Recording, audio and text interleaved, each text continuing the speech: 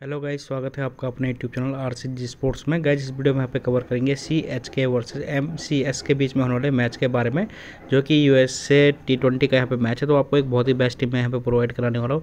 Guys उससे पहले मैं आपको बता दूँ, आपको अपनी विनिंग की यहाँ पर मैंने कैसी विनिंग की है। तो दोस्तों, आप यहाँ पर देख सकते हैं, मैं हर मैच में यहाँ पे विनिंग करता हूँ टी टेन हो, चाहे टी ट्वेंटी हो, चाहे वुमेंस मैच हो क्रिकेट के और फुटबॉल के दोनों मैच में यहाँ पे कवर करता हूँ, ठीक है? और ऐसी यहाँ पे विनिंग आपको कराते रहता हूँ। तो दोस्तों, इसके लिए आपको क्या करना है? पहले तो आपको वीडियो लाइक कर देना है, यूट्यूब चैनल को सब्सक्राइब कर देना है। दूसरी चीज़ आपको क्या करना है कि आपको मेरे वीडियो के डिस्क्रिप्शन में जाना है। वहाँ पर आपको मेरे टेलीग्राम चैनल और मेरे व्हाट्सअप ग्रुप का लिंक मिल जाएगा तो दोनों को आप ज्वाइन कर लीजिए, ताकि आप यहाँ पर टीम का फ़ायदा उठा पाए।